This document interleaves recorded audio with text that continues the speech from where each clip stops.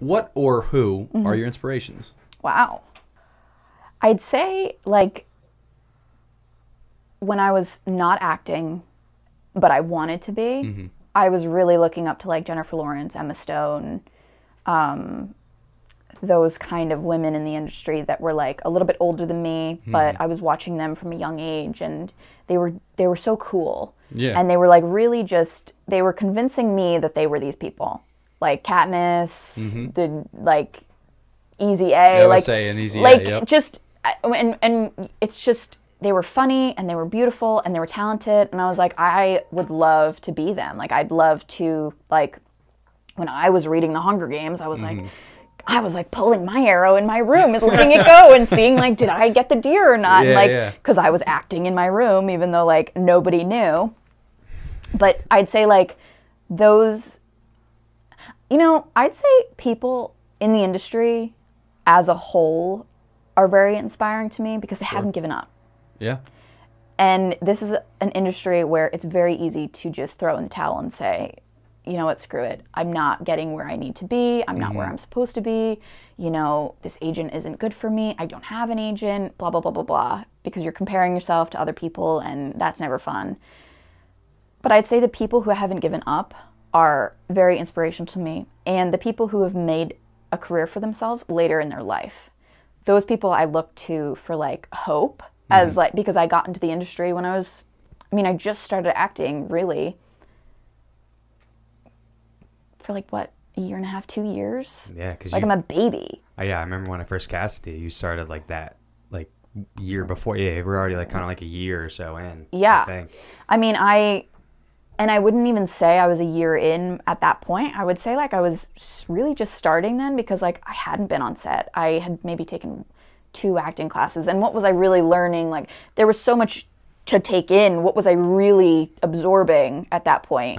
Not much. So I was just kind of like ah, I'm just going to try and do whatever I can Right, and right. see what works, what doesn't and hope for the best Yeah. the people who have like really become successful like in their 40s or 50s even and now they're like a-listers. It's like i there is no rush. Mm-hmm. I don't know why i was ever rushing.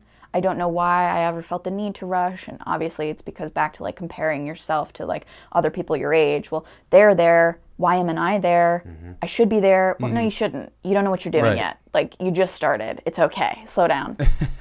But I'd say I know that's like a kind of a cop out to say everybody in the industry that like hasn't given up, but it's true mm. because I like I look at them and I like sometimes will like watch interviews of you know I love this Sam Jones show, the On Camera with Sam Jones, I believe. Is that like black and white? Yes. Okay.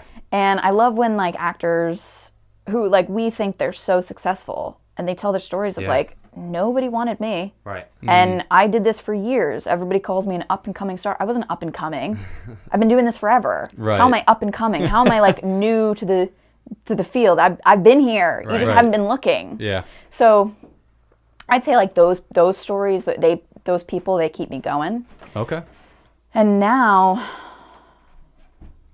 I think that's I think I'll settle on that answer Nice. because that's that's so there's so many people to like. There There I'm are. sure. It's just that's There hard. definitely are. That's a very Can't hard really question. pinpoint exactly who inspires you or what. It's kind Yeah. of like as a whole. as a whole. just what they do is Yeah. what inspires you. That's awesome. Uh, you just spoke a little bit about what inspires you, and you also kind of touched on a little bit that it keeps you motivated as well to keep going. So just to give it a little bit more of, a, of just a platform for the both of you, the industry you're trying to break into is a very difficult one. Hmm. You know, some might even discourage you almost Mm-hmm. from what you're doing. So I commend both of you for staying motivated and to keep pushing forward. Well, thanks, Joe. So let me. I want to ask you and kind of piggyback off her answers. Sure. What keeps you motivated? You know, I think it was because it was. It's always been my dream since I was a kid. Hmm. You know, and I really going through school and knowing I couldn't sit down for eight hours at a desk. Um, I was an athletic kid, so like fitness and sports were something I was going for a little bit, I guess, throughout high school. But I just always had that that passion for film, and I always just knew I wanted to be involved somehow Hmm. You know and then i started to realize that i like to write i like to be more creative have control over certain visions. Right. Um, and then went to film school, realized you can make a career out of this. And, and if you get in, you know, a really good career. And it's like, why, why would I try to go and chase, or why would I try to go make a career out of some thing that I wouldn't enjoy doing every single mm-hmm. day and it Right. feels like work. And you see so many people, you know, friends and family, I'd imagine all of us can relate that like you they go and they're just miserable. Like, oh, I have to go in eight to five. I mean, they do it, they get it done, Right. you know, mm-hmm. and they provide for themselves and their family. But, you know, I think our generation now, there's just so much accessibility and you can go out and, you know, make it not feel like work. Hmm. Like that is mm-hmm. the one thing that like I will forever love until the day I die. Like if I can make this a career in my life, Right. like that'll be the best decision in my life. No, definitely, definitely. Um, now, again, for the both of you, would you say that, you know, you get sort of like these feelings of being uneasy at times because Yeah. you're working from 24 Yeah. 7. working from project to project. Yeah. You know, it's not a steady source, but what you're doing, I mean, for all intents and purposes, is what you love doing and it's your passion. So, um, those feelings of uneasiness, like, what what is that like? You can answer that. It You go sucks. Yeah, it I'm really sure it does. does. And lately, lately I've been feeling like a little bit like, oh God, do I want to struggle, Mm. or do I just want to find a job, nine to five? I have health benefits. I get a paycheck every week. I can have a 401k. I can set up this life for myself, right? Mm. Right.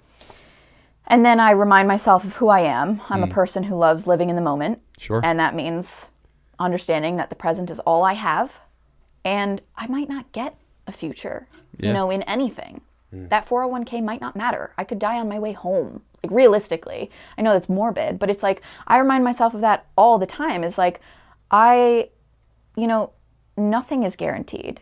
So do what you want to do. Sure. And I know that can sort of, I think some people mistake that as like irresponsible, but it's like you, how irresponsible is it to waste your life doing something you hate? Mm. Just out of fear of, you know, instability.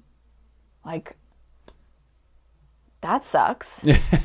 what kind of life is that, you know? Yeah, and absolutely. That just gave me the shivers. I That's- I yeah. recently I was I love Jim Carrey and I love Jim Carrey's whole arc of Uh-huh. himself. Right. Sure. And he seems to be doing very well on his spiritual journey and, you know, his artistic self right now. Mm-hmm. Great for him. He gave a commencement speech for college and Yeah. there is a, I just I watched it on YouTube like yesterday. And he was talking about his dad and how his dad could have been a famous comedian, so successful. He was one of the funniest people he knew. And that was not a stable career path. And so he like became, you know, somebody in finance, let's say. I'm not sure. Don't quote me on that. Sure. Let's say a couple years into his job, he gets fired, he gets laid off okay. and their family has nothing. So, Jim's point is uh, you can fail at something you don't want to do, mm-hmm. so why not do what you want to do? There's no guarantee that this stable life is going to be stable. Yeah. So, it's a waste of time. You know what I mean? In essence, absolutely. Yeah. and but it is it is really you know sometimes it's almost like a seductive thought of oh my god stability and you know having the weekends off i can mm. you know i have enough money to go out to brunch and dinner and get drinks after and go to the spa and right. you know, go dating, date anybody you want, spend money on whoever you want. Like, but it's like, I, do I want that? I mean, not really. Yeah. I just kind of want to make movies. Right. Definitely.